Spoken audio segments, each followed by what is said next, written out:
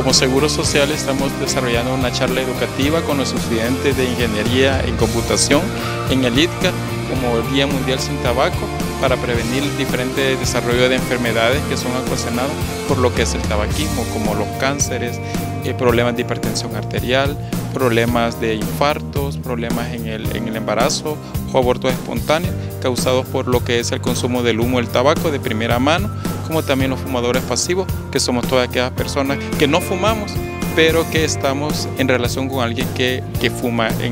ya sea en el trabajo, en la familia, en la comunidad o los amigos que nosotros tenemos.